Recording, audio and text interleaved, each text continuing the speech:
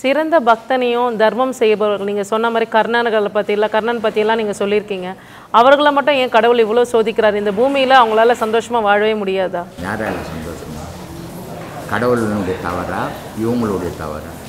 சிறந்த பக்தர்கள் பார்க்குறோம். நம்ம சொல்ல கடவுள் ஒன்றா இரு. பக்தனா இரு தர்மவானா இரு. ஆனால் கடவுள் உனக்கு ஏதாவது தொந்தரவு கொடுத்தாரா எப்போ அது மனிதன் தானே தொல்லை கொடுத்தான். உன்னுடைய தாய் தப்பு தானே உன் பிறப்புக்கு காரணம். கர்ணனுடைய பிறப்புக்கு யார் காரணம்? குந்தி தானே காரணம். அப்போ கர்ணன் என்ன பண்ணுவான்? கடவுள் என்ன பண்ணுவான்? இந்த மாதிரி தவறுகளை செய்துட்டு கடவுள் மேலே போடக்கூடாது நம்ம பழி நிறைய பேர் என்ன சொல்கிறாங்க அவன் செய்கிற தவறை ஒத்துக்கிறதே கிடையாது. ஒன்று விதி மேலே போடுவான் இல்லை கடவுள் மேலே போட்டுடுவான். இது தான் மேலே தான் செய்த தவிர தான் செய்தேன். இது தப்பு தான் அப்படின்னு நம்ம ஒத்துக்கிறதே இல்லை. யாருன்னா ஒத்துக்கிறேன்னா ஒத்துக்கவே மாட்டோம் ரெண்டு மேலே போட்டுருவோம். இதைய விதிங்க அப்படின்றோம் இல்லை கடவுள் மேலே போட்டுடுவோம் அது மாதிரி தவறு அது நான் செய்த ஒரு தப்பு பண்ணிட்டேன். தெரிஞ்சோ தெரியாமையோ ஒரு தப்பு பண்ணேன் ஆமாம் அவன் தப்பு தாங்க பண்ணேன் அப்படின்னு ஒத்துக்கணும். அந்த மனோபாவத்தை நீ உருவாக்கிக்கணும். அதை விட்டு போட்டு கடவுள் வந்து மனுஷனுக்கு எந்த தண்டனை பக்தனுக்கும் தண்டனை கொடுக்கறதில்ல கடவுளுக்கும் தண்டனை கொடுக்குறது இப்போ பக்தனுக்கு கடவுள் தன் தண்டிக்கிறார் சோதிக்கிறார் தண்டிக்கிறார் தண்டனைன்றது வேறு. சோதனைன்றது வேற. இல்லையா? வேற வேற தானேம்மா ஆமாம்மா. அப்போது பக்தர்களுக்கு வந்து சோதனை கொடுப்பார் கடவுள். எப்படி கொடுக்குறார் அப்படின்னு பார்க்கணும்.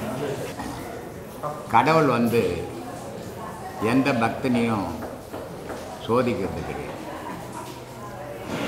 தண்டனை கொடுக்கறது கிடையாது. ஆனால் சோதனை உண்டு.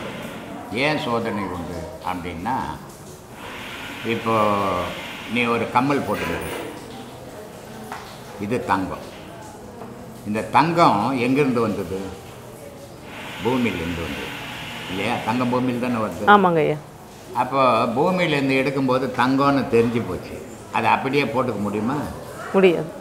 ஏன் முடியாது? தங்கம் தானே. அப்படியே மாட்டிக்கலாமே. மாட்டிக்க முடியாது. அப்போது அந்த தங்கத்தை புடம் போடணும்.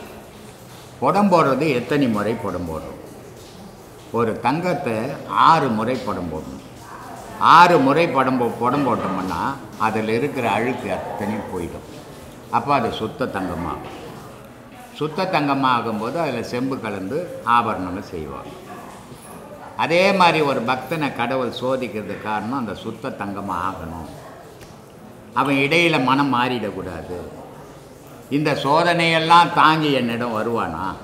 அப்படி வந்தால் நான் ஏற்றுக்கிறேன் அப்படின்றதுக்காக பக்தனுக்கு தண்டனை கொடுக்கறது கிடையாது சோதிக்கிறார்.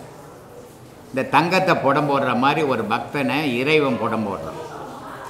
அந்த புடத்தில் எல்லாத்தையும் மீறி அவன் வரும்போது இறைவனோட கலக்கிறான். இதாம்மா பக்திக்கும் ஞா- இதுக்கும் வித்தியாசம். எந்த பக்தனையும் கடவுள் தண்டிக்கிறதே கிடையாது.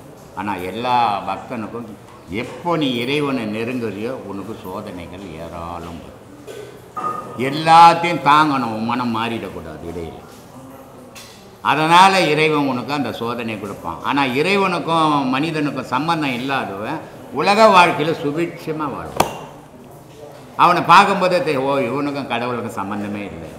ஏன்னா எந்த மகானாவது பணக்காரன் இருந்துக்கிறேன்னா எந்த மகானாவது கோடீஸ்வரன் இருந்துக்கிறேன்னா எந்த மகானாவது ரெண்டு பில்டிங் வச்சுருந்துக்கிறேன்னா எல்லா மகானும் பிச்சைக்காரனான் தான். பற்றற்று இருந்தால் தான் பற்றற்றவனை பற்றி கொள்ள முடியும். இல்லையா? உலக பற்று இருந்ததுன்னா கடவுளை பற்ற முடியாது. உலக பற்று இருக்கிறவன் உலகத்தில் செழுமையாக இருக்கலாம். ஆனால் கடவுளுக்கு அவனுக்கும் தொடர்பு இருக்காது. ஆனால் எவன் சாப்பாட்டுக்கே வழி இல்லை இருபத்தி நாலு மணி நேரம் கடவுளே நினச்சிக்கிறானோ அவனுக்கும் கடவுளுக்கும் தொடர்பு உண்டு. இது சோதனைன்னு பேர் தண்டனை இல்லை. இந்த பூலோகத்தில் தான் இந்த பூமியில் தான் மனிதனால் முக்தி அடைய முடியும்னு சொல்கிறாங்க பல மகான்கள் சித்தர்கள் எல்லாரும் முக்தி அடைஞ்சிருக்காங்க. அப்படிப்பட்ட சூழ்நிலையில் நம்ம நம்மளால் இந்த வாழ்க்கையில் ஒரு படி மேலே போகிறதுக்கு அவ்வளோ கஷ்டப்படுறோம். முடியாதுமா வாழ்க்கையில் ஒரு படி மேலே போயிடுங்க நாலு படி கூட மேலே போயிடுங்க ஆனால் ஞானத்தில் அரை படி கூட மேலே வைக்க முடியாது.